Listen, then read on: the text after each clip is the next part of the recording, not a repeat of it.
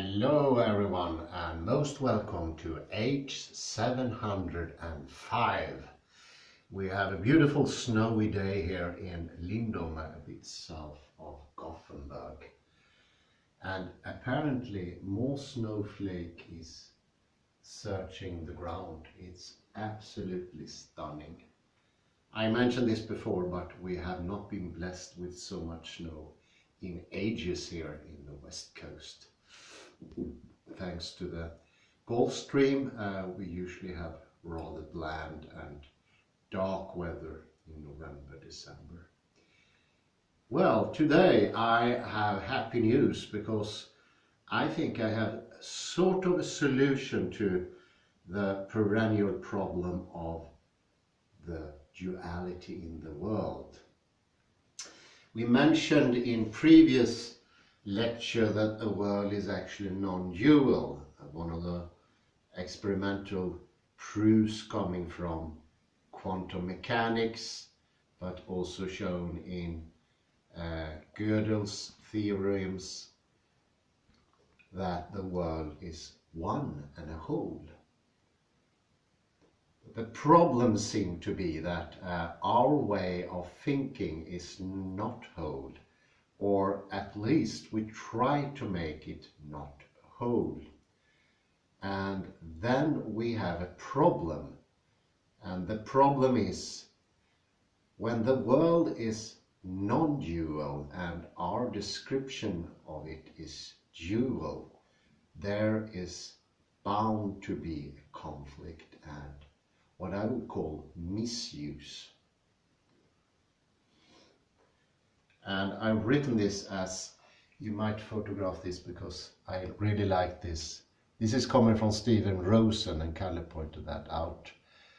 It's wholeness cannot be described in positive terms only. If you have the whole and you try to describe it or fathom it in limited manner, that will erupt to a problem. But what is the solution then? Well, I will tell a story here as a start and this I'm afraid is going to be yet another subject here to enlighten the all directions we already have. So we are going to put even more cards in our deck. More cards will mean we can play out loads more hands. There once was a monk who asked the Master Joshu in all earnest, I have just entered this monastery. I beg you, Master, give me instructions. Joshu asked, have you eaten your rice gruel yet? The monk answered, Yes, I have. Joshu said, Then wash your bowls.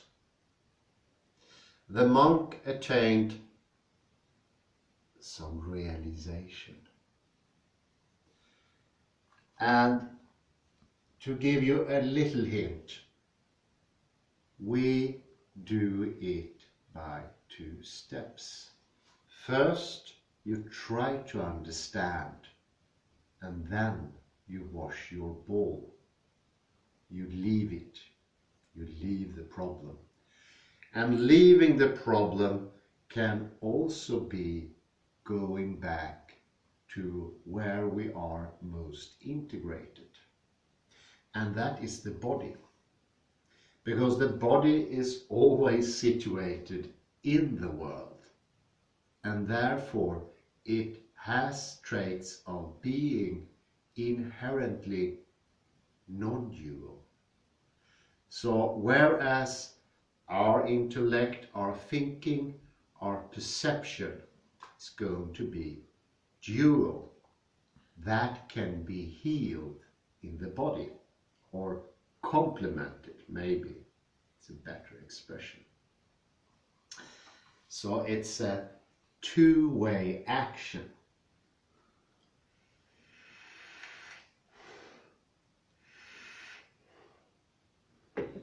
And another way of approaching the problem is the one that's presented in the very famous book Gödel, Escher, Bach by Hofstadter. And he shows in that book with really cumbersome and tough exercises and thinking that we cannot, so to speak, observe the world from the outside. We cannot fix a coherent and consistent system that tells us about the world. Cannot be outside yourself. And that is in a drawing shown by Escher, his fantastic drawing, and I especially like the one where a hand is drawing another hand, and both hands are drawing each other. And the intellect will ask, who started? But I'd say the body understands. Inherently and implicitly, the body has an understanding.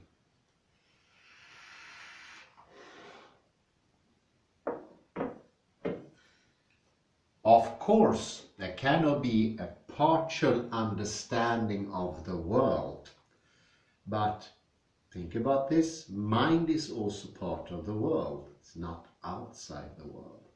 So the partial can be complemented by what is already complementary, always more integrated, I'd say. So we help our mind by keeping balance. And this is of course something we learn through the lecture series. A balanced body gives a balanced mind. And that was a clue for me last night when I entered in, into this new area.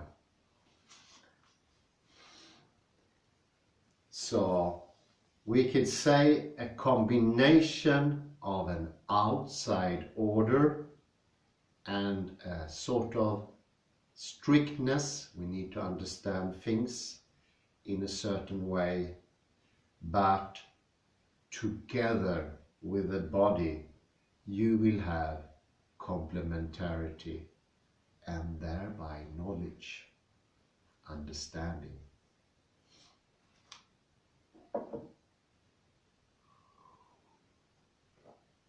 And then in a way, we can have both paradoxical understanding and ordinary understanding at the same time. They seem to be as complementary as the world itself, like a particle and a wave.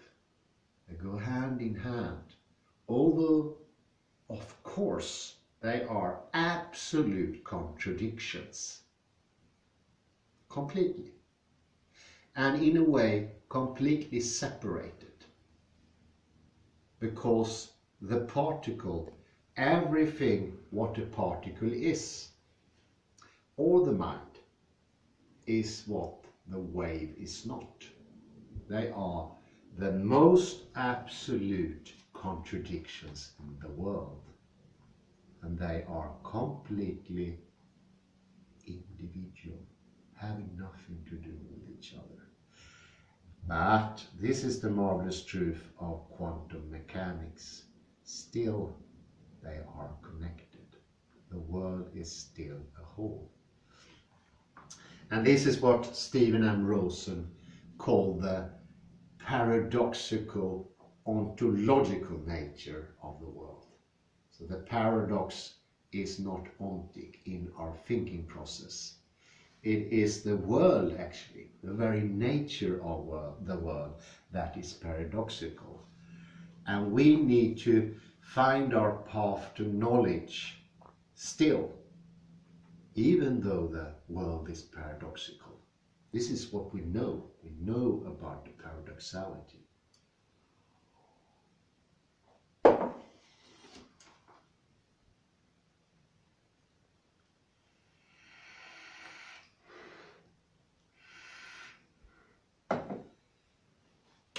It is a little bit like this. We can also think about thinking and action or word and world.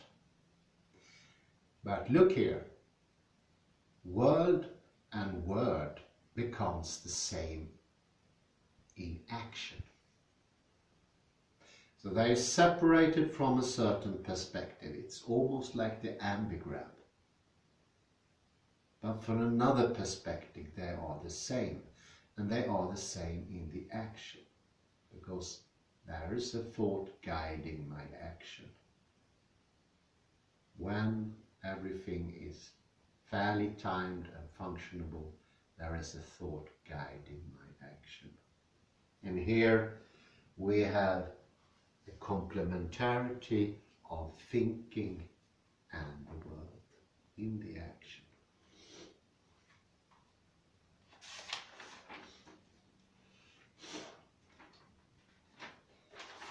So one can say that in the bodily action, that's the only place where we can have a reconciliation of the contradiction. But nota bene, it doesn't mean that the contradiction disappears. It's rather this complementarity that is so different, but one can experience. And this is the implicit knowledge. The explicit will always be contradictory, and it's supposed to be that way. And we should accept and leave it at that. But in the reconciliation, in the complementarity, they become the same.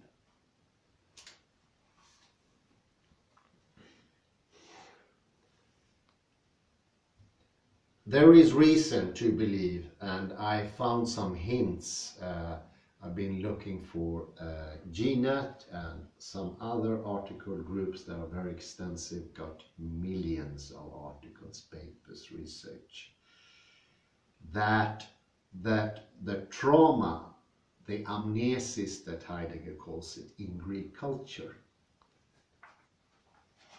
was at the same time also a misuse or a lack of bodily action, lack of coordination. And as we mentioned yesterday, we were talking about S1 and S2, the two selves of Tim Gallwey, the inner tennis game, the inner, inner tennis player.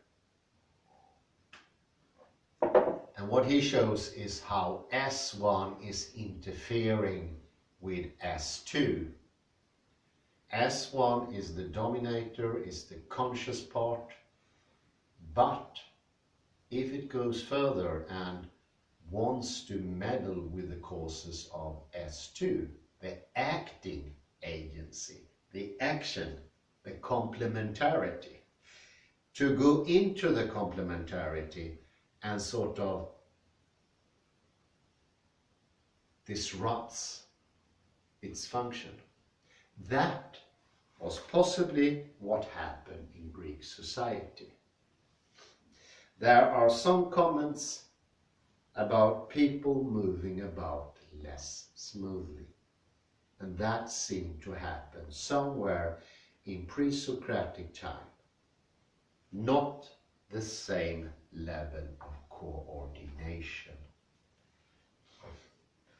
So there is some sort of bodily equivalence to the amnesis of the antique Greek.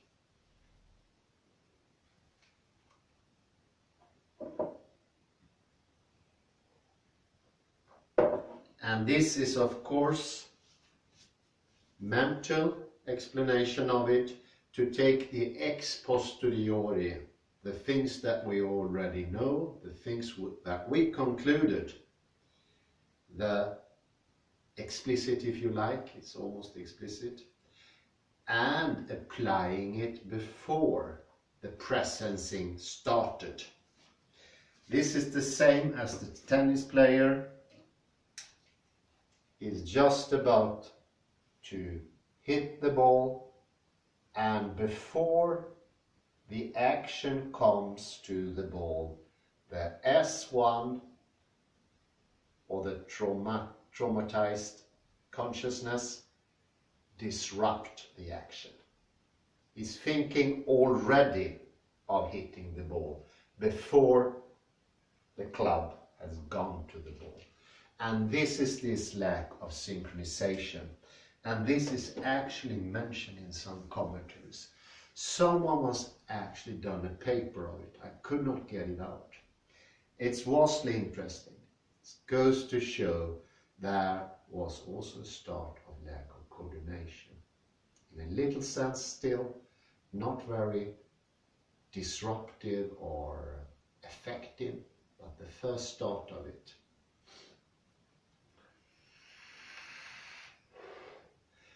But that is shown in the new way of describing the world. It's not as enticing anymore. Although the language gets more advanced and the descriptions gets get much much more pleasant. This is a pleasantry coming up. There is a development, but there is also a very very small tendency still at that time to describe the words the world in terms of being more horrible.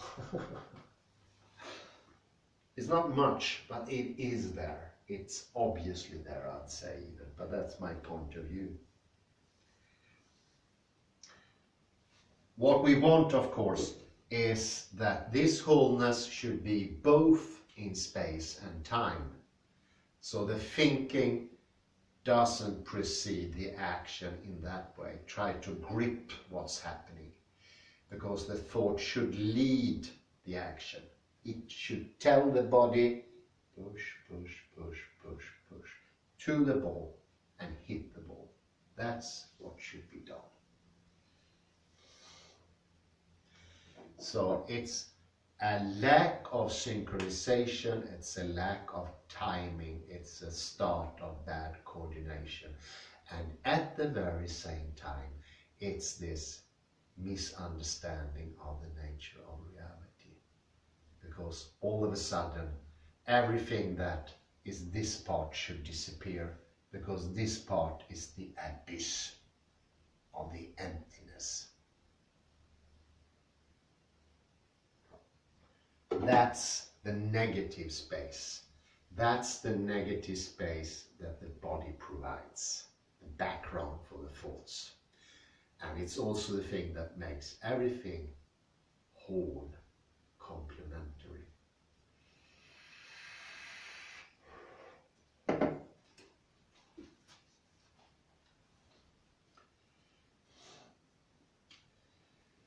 So one could call this preemptive action with an easy word, where I want to do something before it's supposed to happen. I react before. And this is exactly what this fear and flight reflex does. It makes you react before, before thinking. And what happens is your actions won't be fitting the situation.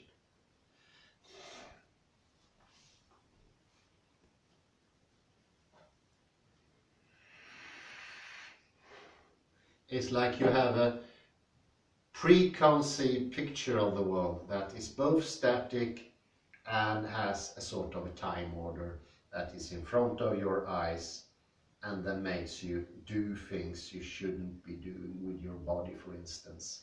We, we talk about this before we move our hands before the back and then we hurt each other. Well, we hurt ourselves, I mean. Could even go so far Last Saturday I uh, talked with a chap, he got uh, hernia and in my thinking hernia is caused by some brute thing like a building block or a big rock. No, it was uh, actually just a bag of purchase from the store. But what he did, of course, go to the action first with the hand. And then what you do with your back can cause havoc because you're not helping the back, you're making it much more difficult. That's the preemptive idea, to reach for the things before it's happening. So the trauma in the Greek is not only this idea of getting rid of the negative, getting rid of space. As Parmenides said, can be no empty space. Nothing is empty. Everything is full, full, full, full.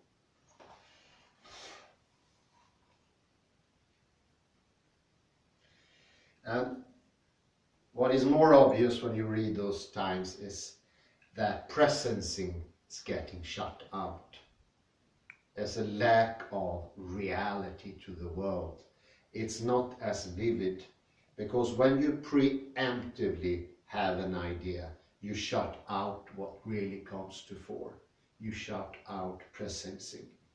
You do not receive the world anymore. As I sh should receive the world through my feet now, now I do it again and I feel more present, feel the ground, and that stabilizes me automatically.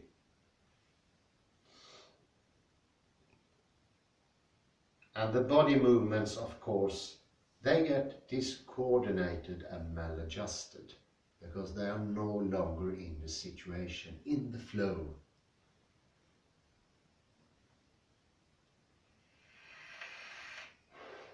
Well, many solutions to this problem has come during the ages, but one problem is this preemptive thought, this preemptive habit. It's so hard to break. It's so hard to break. We need to find a way to slow everything down and the idea is to slow the body down because that is integrated. And when the body becomes so slow that the thought cannot be out of sync, it will begin to heal automatically. It's in the feedback system because the thought actually in some sense thinks it's doing the right thing. But when it slows down, the integration comes and you perceive with your whole system why it's wrong. And that's exactly the same reason a small child would never ever do that. The back would always be there because it's integrated with its body. It wouldn't hurt itself, of course.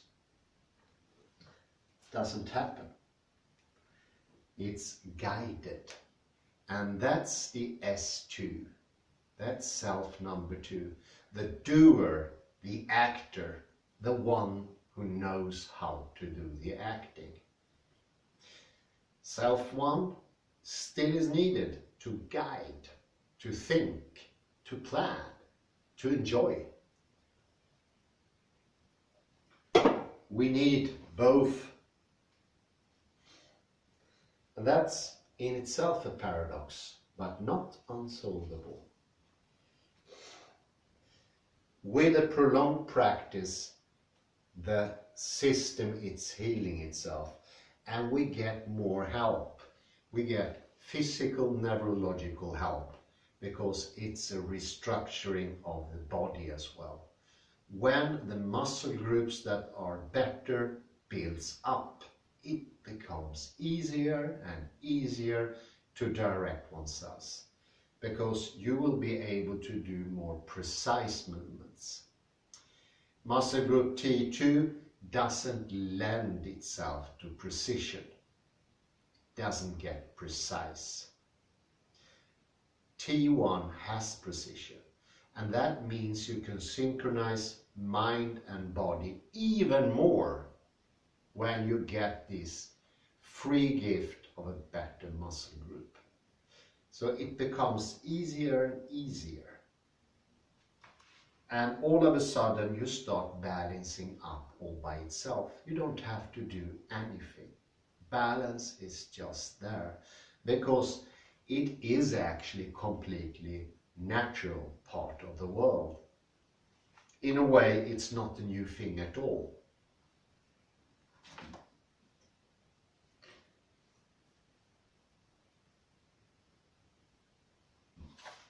So there is a development in the body that will help this process.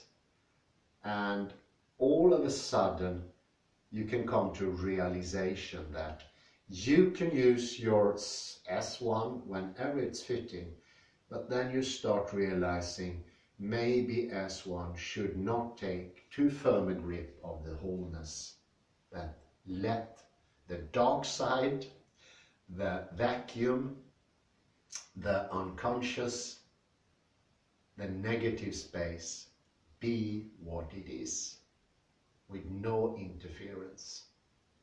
And thereby I'm 100% sure both S1 will work much, much better. That will be clearer, the thinking will be more ordered because it will see that each time something is done, it's effective, it's successful, and it begins to trust the process. See, I leave the unconscious to do the things it needs to do. I saw last time it worked. And I'm also really, really satisfied with the results. So I leave the unconscious to do that. And once the unconscious, when the S2 can do its job, it will also get stronger. It will be better able to lead the movements. That will add also in the change in our neuromuscular pattern.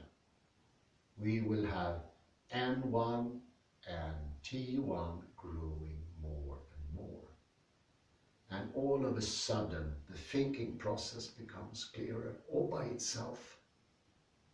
You don't have to do anything. because you had it once upon a time as a child. Until we know, until the age of four or five, we don't have much misuse to talk about. then something happens. So we could say that in childhood we do the same thing that historically was done to the Greek or the Greek done, did to themselves. But it's my firm conviction this can be wholeness once more because it used to be wholeness and in many aspects, well, in all aspects, it is still wholeness. It's just we need to let both body and mind slowly understand that's the case and that that is the way to go about things to make them more elegant, salient and I'd say fantastic. I think this is a good time to round up. So thank you very much. Bye.